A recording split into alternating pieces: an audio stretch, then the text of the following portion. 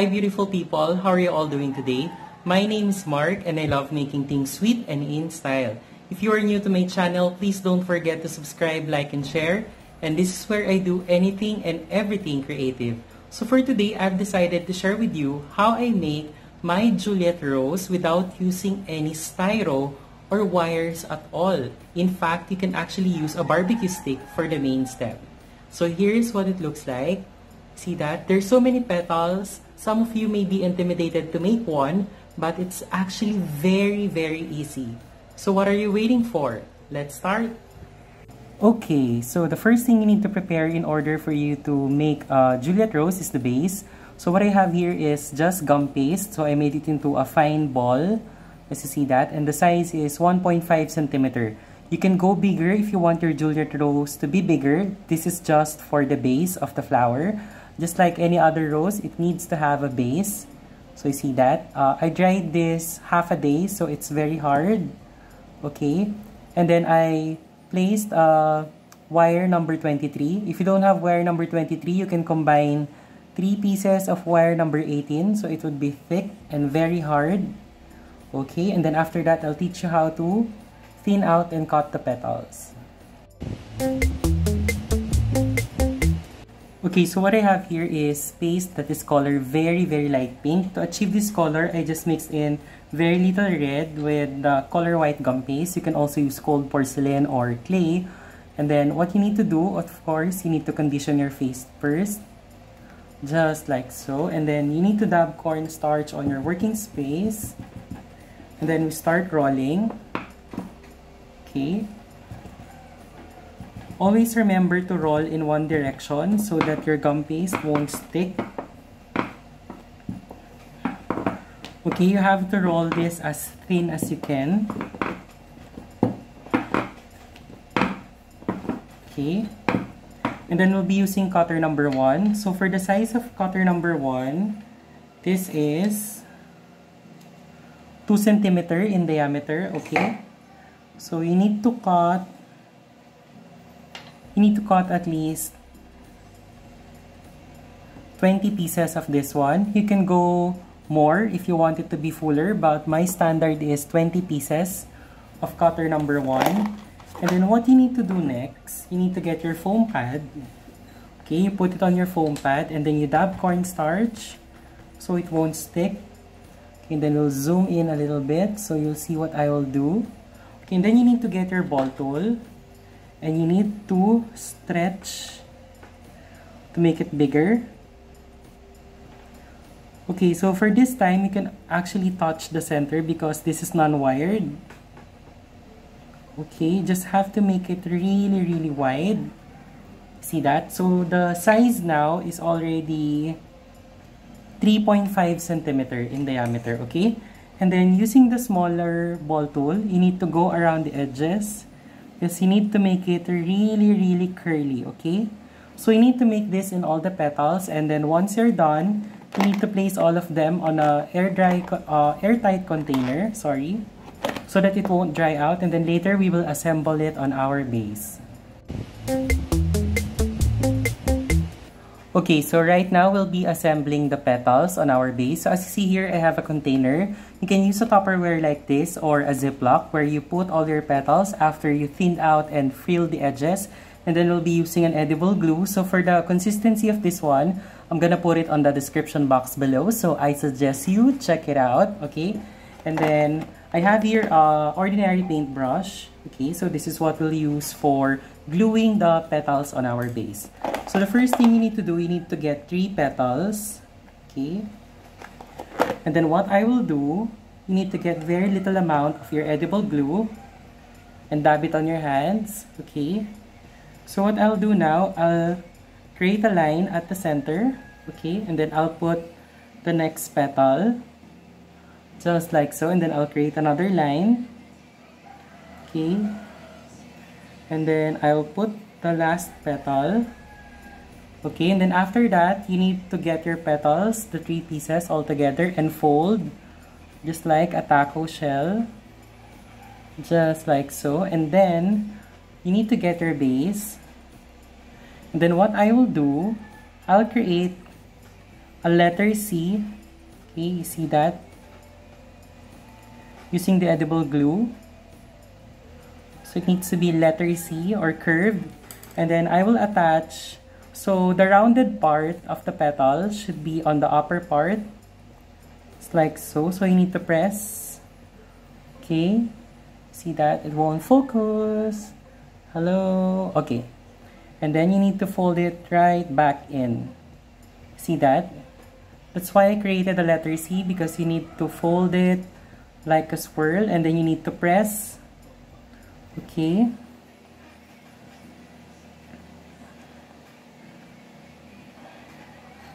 So this is what it should look like. And then you need to press this down. And you need to open petals more. Okay. Just like so. See that? So that's one part. So when you're attaching petals, you always need to remember that when you started the curve on this direction, all of the petals should curve that way, okay? And then once I added here, I'm going to add here on the next part, okay? Just on the front side. And then I'm going to add another one here and then another one here. So it's like a crisscross motion. So one, two, three, four. And then all the spaces in between, you have to fill in with the other petals, okay? So you have to do this continuously until everything is covered and then we'll proceed with the last layer of the petals. Okay, so here I would like to show you that I added the other set of petals on the other side. Okay, see that? Okay, so this is how it should look like. So one, two, three, four, and then all the spaces you need to fill. And then always remember when you're attaching petals on a curved motion, you have to press this part, okay, to slightly open. You see that? So you're creating different levels when you actually push petals, same as this one, okay? See that? So you just need to continue until everything is covered. Okay, so right now I'm gonna show you what it looks like after you added the crisscross of all the petals together. So this is what it would look like. You see the layering? Okay, that's achieved by pressing this part to gently move the petals when you stick them. And then right now, you'll see that there are some spaces here. So normally, um, it depends on how much you open your petals and how much you frill your petals.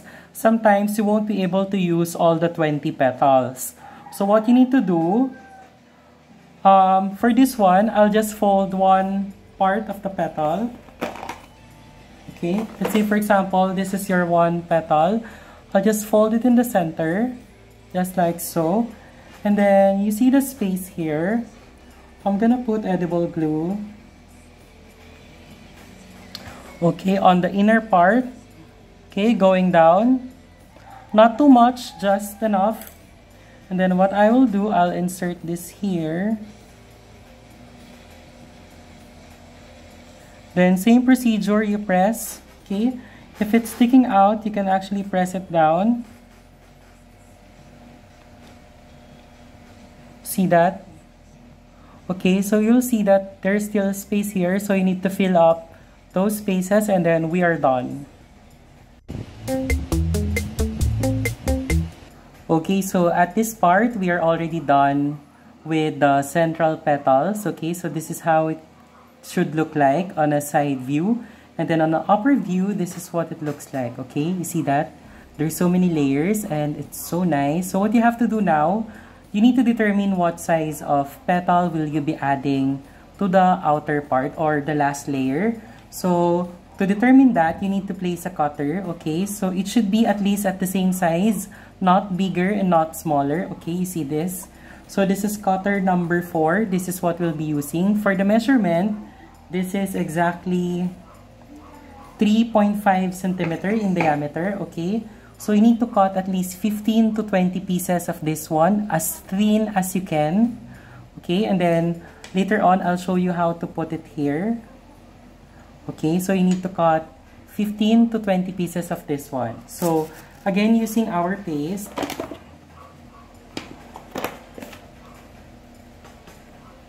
This one.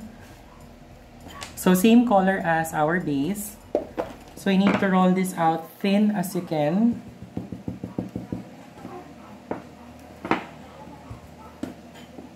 Okay.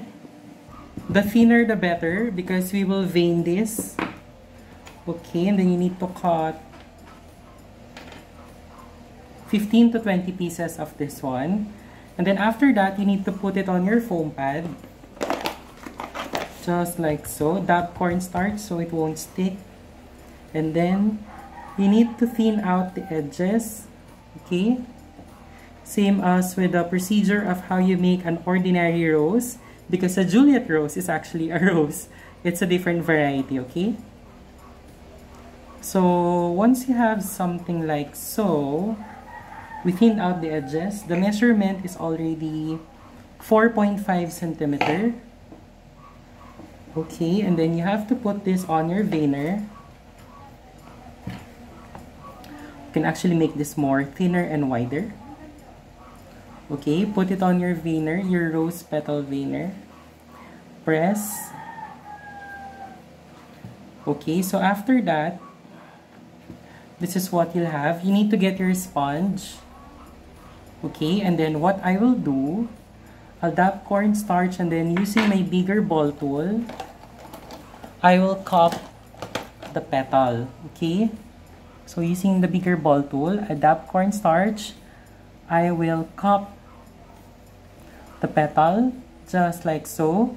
If you find it hard to cup a petal, what you can use is this drying device that's DIY. So what I have here is styrofoam ball cut into half. This is 2.5 inches. You can simply put your petal like so and then let it dry a little bit. And then once it's a little bit dry, we'll attach it to our base. And then we're done. Okay, so you need to do this on all the 15 or 20 petals. You can actually go more if you want it to look fuller. But my standard is 15. Okay? Okay, so right now, since our center is already dry, as you see that, and then our petals are actually curved, okay, the outer part, the petals for the outer part are actually semi-dry, so we can use it already. So how would you know if it's perfect to use? So when you get it, it's actually, it holds its shape, but it's not that hard yet. See that? So this is perfect. So what you need to do now, um, basically you need to add edible glue.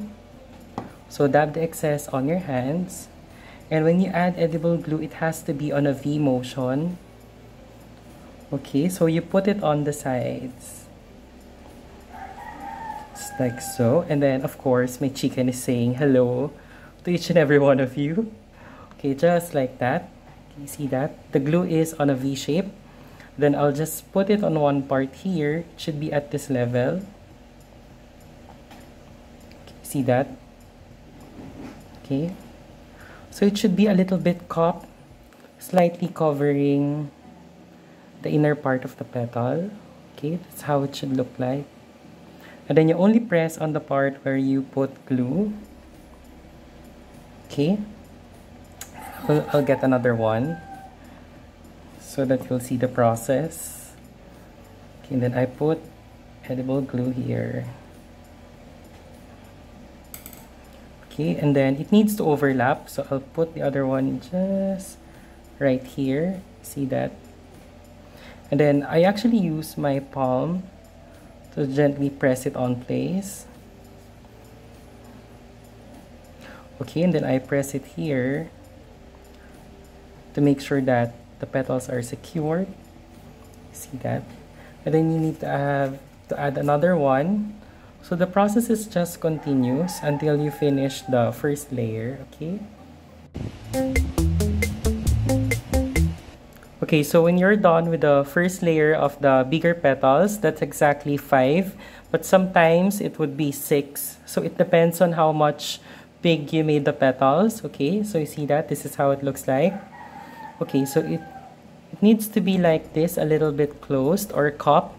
And then you need to proceed with the next layer of the petals. Just the same technique, so you have to add it a little bit lower. Okay, so at this level, just like that.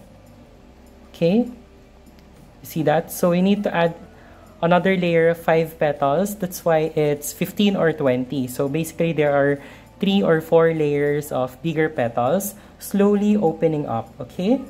So when you add the second layer, it should be again at this level. You see that? Okay? And you need to apply the same procedure.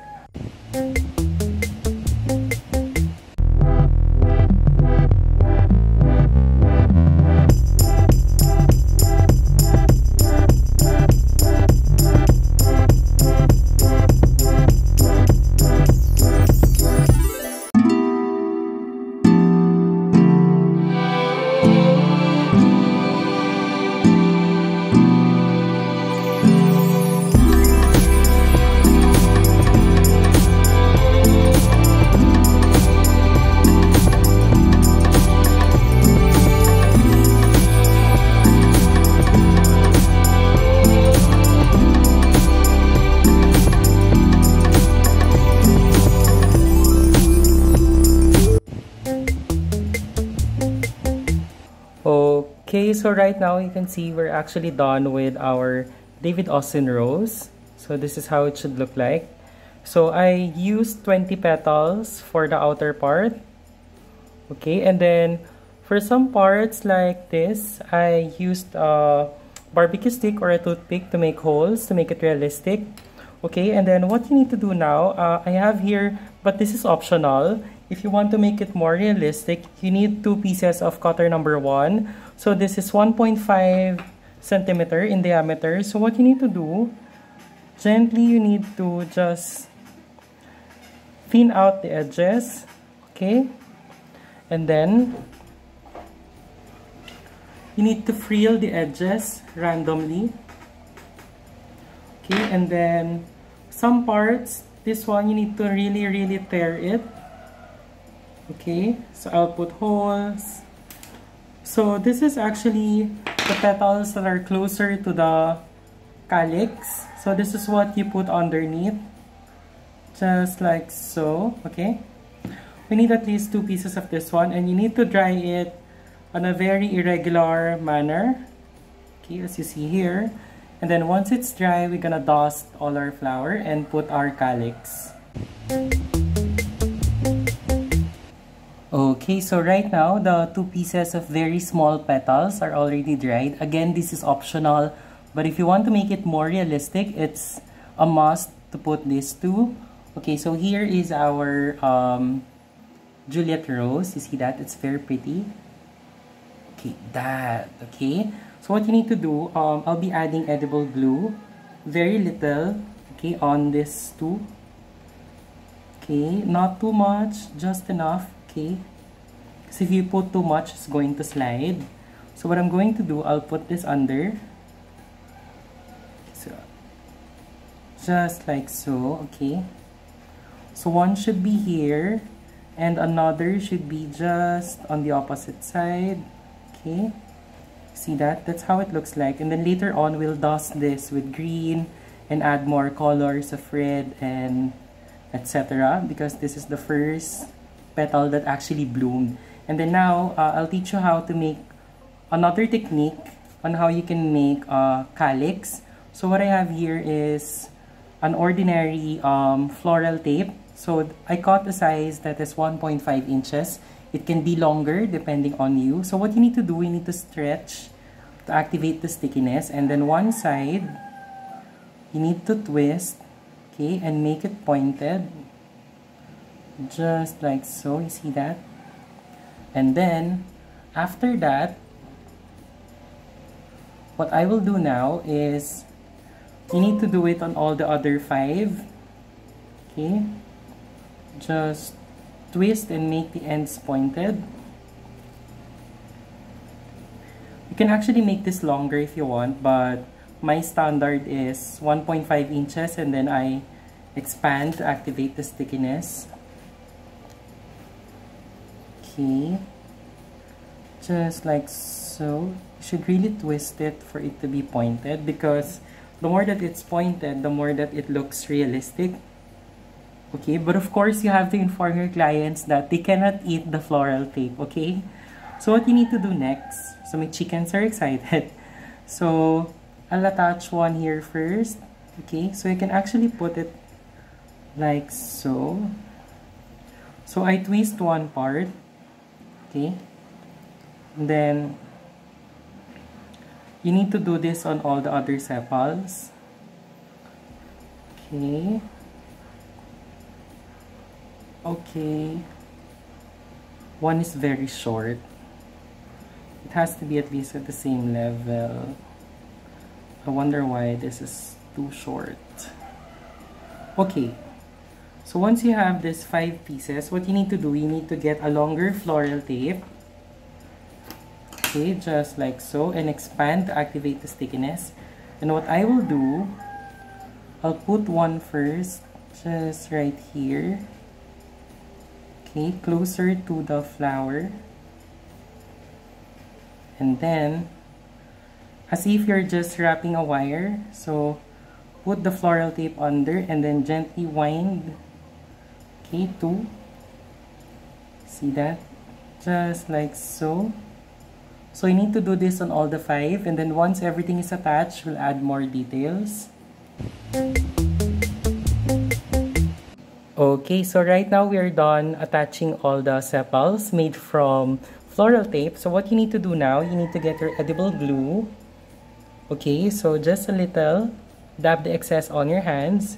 So what I will do, I will put edible glue on where I wanted to actually stick this floral tape, just like so, and then just press lightly. Okay, so it will attach a little bit. Okay, you see that? You see the effect? Okay. So, yeah, you just need to add edible glue on some parts, okay? Not all, just on some parts because not all the sepals or the calyx are actually sticked onto the flower. Some are moving freely. Okay. Just like so. And then this is our calyx. So now we'll proceed with dusting. Okay, so right now we are done with our Juliet Rose. See that? It's very pretty. So what we need to do now to make it more come alive, we need to add dust, okay? So if you're in a hurry, again, for some of you are asking, you can actually use an airbrush if you're in a hurry. But of course, the effect of dusting is different than airbrush. Okay, so first we'll add the yellow glows at the center. So I'm using a makeup brush specifically for my flowers, okay? So you need to dust the inner part with very little yellow. Okay, so it will have that slightly orangey glow.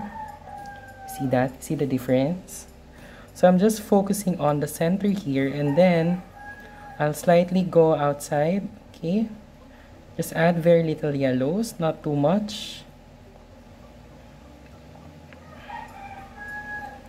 Okay, so just go around.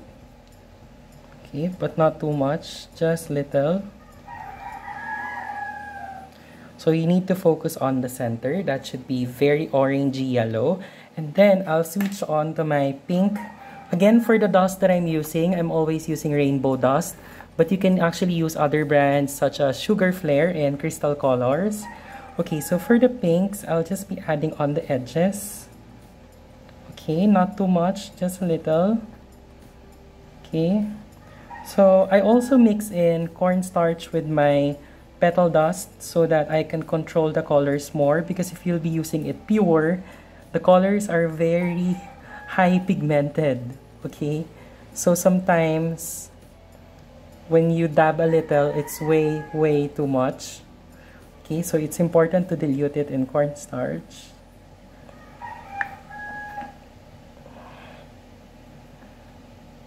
Okay, just add little bits of glow. You see that? Now it's coming to life. And also my chickens are coming to life again. They're excited. Okay, so after that, so this is what you'll have. See that? It's very pretty. So what you need to do now, um, you need to get your green dust. Okay. I'll just put this aside. And then you need to get your brush specifically for color green. So what I like to do, I'll just add very little greens here. Okay, in the bottom parts of the petals.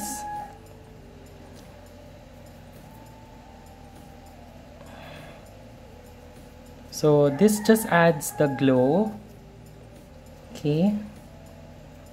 Just like that. Just on the lower parts of the petal. And then, I'll be switching on my very tiny brush that's specifically used for liquid gel. So I'll put this aside. So what I have here, uh, this is actually gel color that actually dried a little bit. Okay, and then I have here water, but it's important you'll, you'll be using gin or vodka. So I'll first get very little yellows. Okay, so what we'll do, you see this bottom part? The ones with holes on it. So you need to color this with greens. just like so see that okay and then gently we'll add in very very little reds so you really have to dilute this in water so that the colors are not too strong.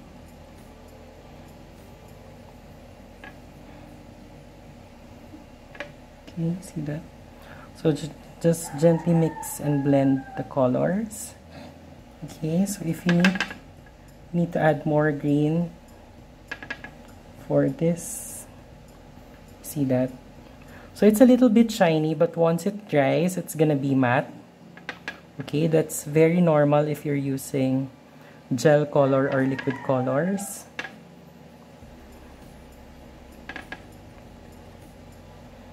okay and of course you have to color the top part also so that it would look nicer so when you're doing this, you have to make sure that your petals are fully dry. Otherwise, you'll have problems, okay? Okay, and then we're done. So the spots here, I would like to add some very little greens and reds, okay? Just to make it more realistic. See that? Okay. And then some parts here, I would just add very little tinges of the reddish green color. And then I'll dilute more in water and then what I'll do normally I add those spots okay at the bottom parts of the petal just to make it more realistic okay and there you have it this is your beautiful Juliet rose so I hope you learned a lot. Thank you. Bye.